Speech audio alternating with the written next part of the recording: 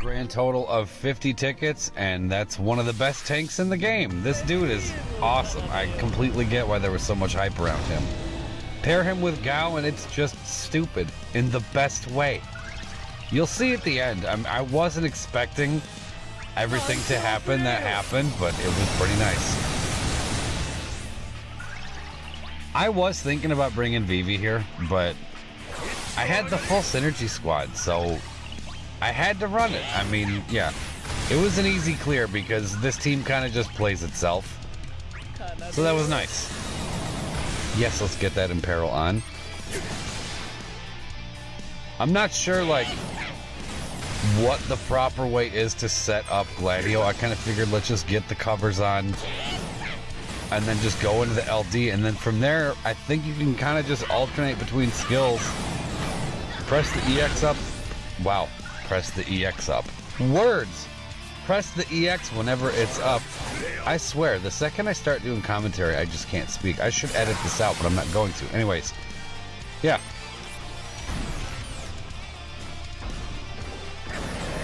So it's like he's he's like a Galuf and Zack mixed. I'm gonna do some bad comparisons, so get ready. He he reminds me of like a a Galuf and Zack mixture, kind of, because similar to Galuf, he jumps in front like this.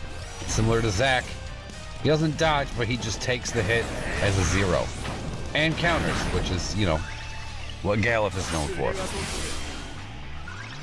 So yeah, Galuf and Gau is double counters with battery, which is amazing. You could put a lot of different people with them and it would be good. I'm, um, you know, just a really strong DPS or maybe somebody with more attack auras or more battery or HP damage boosts like Charlotta or Kurasame. Like there's a ton of options with these two. The two of them kind of just play themselves. So your third slot, I mean, could be more fight dependent, I suppose. Mine had to be Kuja. I mean, it's just an obvious pick given where we are right now. Now, this orb is interesting. It's the first one I think we've gotten. Yes, the first one we've gotten that single target. And it doesn't, like, get rid of buffs or anything. It just kind of hits you. So there's a lot of options to get rid of this one. I mean, the orb condition is just bring a tank. I mean, that's what it's asking you to do. Just bring a tank. Because it doesn't go away. Like, it'll, it'll count down and then go off. And then it'll come back later at certain HP thresholds, but... There, yeah, there's nothing you can do to offset it. It's going to just keep counting down. So just have your defensive strats ready, whatever it may be. I mean, obviously, Gladio just makes it so you don't have to worry. Warrior of Light would be awesome here, too. I don't know about Basch because, uh, no, actually, no, Basch probably wouldn't be. Don't quote me on this, but I would imagine Basch might be awkward because these things cleanse when the orb goes off, which is fun. So there goes Basch's target lock, and they automatically target whoever has the lowest HP, which isn't going to be Basch. The dude has a ton of HP. But that's why this is Gladio's event, because he can dive in front of whoever these things decide to target when the orb goes off and just make it a zero and hit him back. I mean, Gladio cheeses this fight, and it seems as though he's going to cheese many other fights in the future. See, like said, like said, like so. I mix, I just mixed together like so and like I said, and I went like said. This should be edited out. It won't be.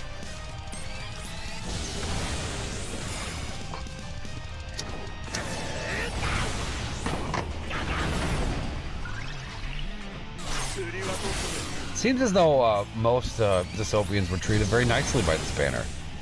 I don't know of anyone who really had to go all out for his stuff. We all kind of just got it with relative ease. I said, yeah, my polls were 50 tickets, and there's people who got it in less than I did. That's awesome.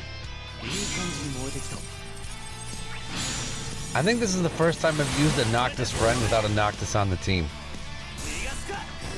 I'm sure zero turns is probably possible on this stage, but I don't know. I'm kind of not really into doing that at the moment. I'm kind of more into just mixing up different teams and seeing what works and just kind of having fun with that.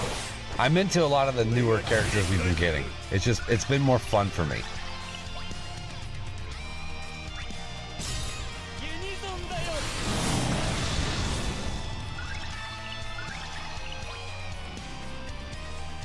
But I had a plan here.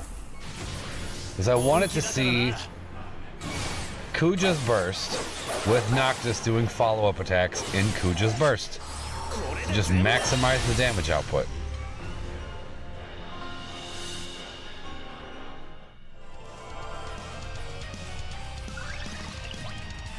I totally made a mistake here though. Which ended up being fine in the grand scheme of things, but yeah, see, I was hoping. Yeah, see, I did this totally wrong.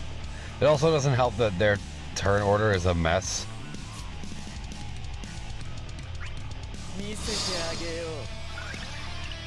But I figure we have the Noctis Burst effect active, it's time.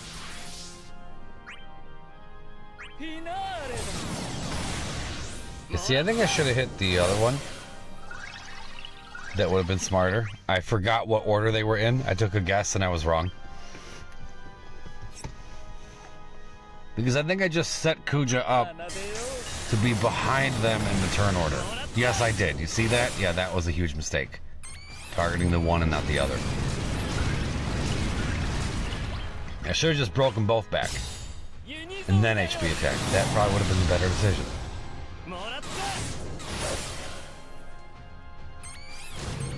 It really doesn't end up mattering. I just like to have uh, everybody taking as much advantage as they possibly can in the um, looping back and forth provided by Warp Stout.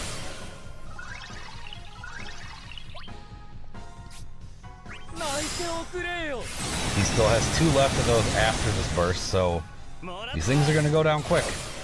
They're kind of defenseless right now.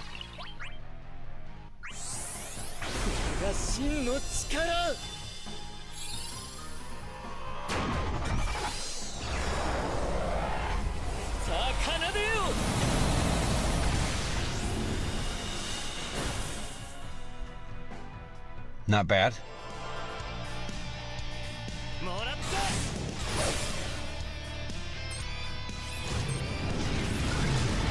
You see, Kuja's behind all of them. That's really not the best situation. And I have no choice but to LD right now and break them out of order. That's not actually true. I could I could have maybe used the EX and then I don't know. Like I said, it, it doesn't matter much at all. Because now the 15 boys will just do what they can. I wasn't planning that either. I really wasn't planning on a Noctis friend. I was going to just bring another Kuja. And then I thought about that burst effect thing. I'm like, you know what? I want to see that. So we'll do it that way.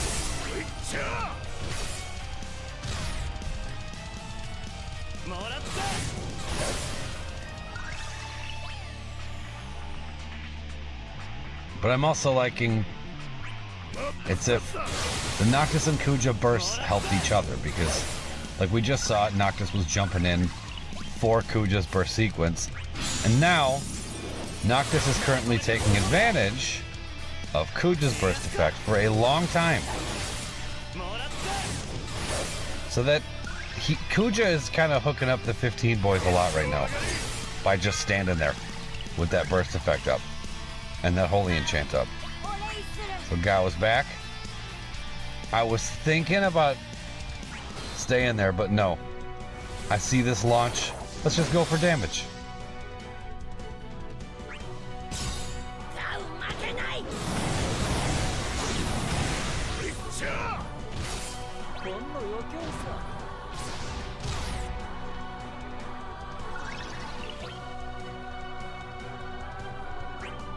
This was probably the most painless looping we got. For me anyway, because I had this full synergy squad. Just to clarify, if I'm gonna say that this stage is easy, I'm talking about how it was for me. I'm not making an overall claim about what the difficulty of this stage is for you. I don't know you. I don't know what characters you have. I don't know what your experience is. I can only speak on my experience. And with my experience, given this team, this stage was easy. This right here is my favorite part of the whole fight. Just watch this play out. So he attacks, counter, countered again, but we're not done.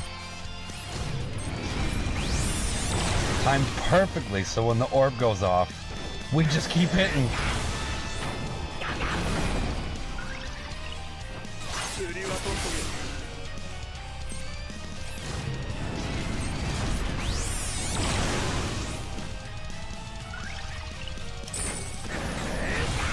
I could have went harder with Gau in the beginning. I think I only used one landslide. One or two. Uh, how many does he... Does he get three or four? I think he gets four. So I think I used two. I just got Gau. I don't even remember his skill counts or anything.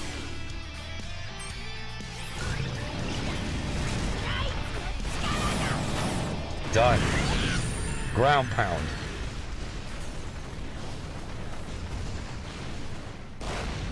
So I'm wondering if, okay, I know I go back and forth.